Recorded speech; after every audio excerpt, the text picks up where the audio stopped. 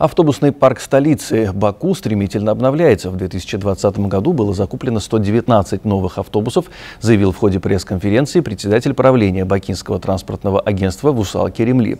В целом, начиная с 2015 года в столице было обновлено 968 пассажирских автобусов.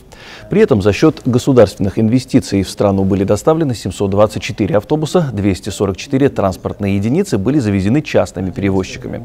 Общественный транспорт столицы ежедневно ежедневно перевозят 630 тысяч пассажиров. В течение ближайших двух лет предусматривается доставка более 300 автобусов. Автобусный парк столицы за последние пять лет был обновлен. К примеру, в Анкаре за пять лет автобусный парк обновился на 18%, в Москве и Белграде на 13%, в Варшаве 22%, в Будапеште 4%, в Тбилиси 15%. Между тем, общественный транспорт столицы Азербайджана за последние пять лет был обновлен на 46%.